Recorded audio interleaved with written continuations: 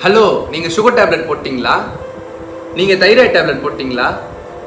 என்னங்க இப்படி பேசுறேன்னு பார்க்குறீங்களா ஆமாங்க உண்மை தானே எல்லார் வீட்லேயுமே எப்படி காமனாக ஒரு பைக் ஒரு கார் அந்த மாதிரி இருக்கோ அதே மாதிரி எல்லார் வீட்லேயுமே காமனாக அதாவது அட்லீஸ்ட் ஒருத்தருக்காவது சுகர் தைராய்டு அந்த மாதிரியான விஷயங்கள் வந்து இதெல்லாம் ஏன் எப்படி அப்படின்னு என்ன கேட்குறீங்களா எல்லாத்துக்குமே காரணம் நீங்கள் தான் அப்பா அம்மாவுக்கு சுகர் இருந்தது அப்படின்னா பசங்களுக்கு வர்றதுக்கு முப்பது பர்சன்டேஜ் மட்டும்தான் வாய்ப்பு இருக்குது மீதி யார் பண்ணது அப்படின்னு பார்த்தீங்கன்னா நீங்கள் பண்ணது தான் சரி நம்மளுக்கு சுகர் வந்துடுச்சு டேப்லெட் சாப்பிட்றோம்.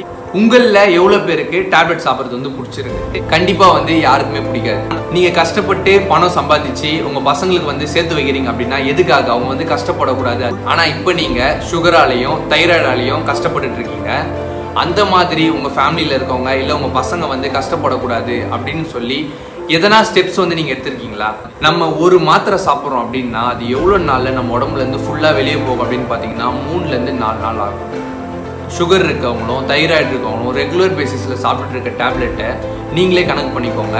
எவ்வளோ நாளில் உங்கள் உடம்புலேருந்து வெளியே போகும் அப்படின்னு நம்ம சாப்பிட்ற சாப்பாட்லேயே அவ்வளோ கெமிக்கல் இருக்குது அப்படின்னா நம்ம சாப்பிட்ற மாத்திரையில் கெமிக்கல் இல்லை அப்படின்னு நினைக்கிறீங்களா? அதில் தான் பார்த்தீங்கன்னா ஹை கெமிக்கல் வந்து அதில் இருக்கா. உங்களுக்கு வந்துருச்சு பரவாயில்ல. உங்கள் வீட்டில் இருக்கவங்கள காப்பாற்றுங்க என்ன பண்ணணும் அப்படின்னு கேட்குறீங்களா கண்டிப்பாக வந்து அதுக்கு வழி இருக்குது சுகர் எதனால் வருது? அதிகமான மாவுச்சத்தை நம்ம எடுத்ததுனால தான் சுகர் வருது. தைராய்டு எதனால் வருது? நம்ம சாப்பிட்ற சாப்பாட்டில் அயோடின் வந்து ரொம்ப கம்மியாக இருக்குது அதனால தைராய்டு வருது.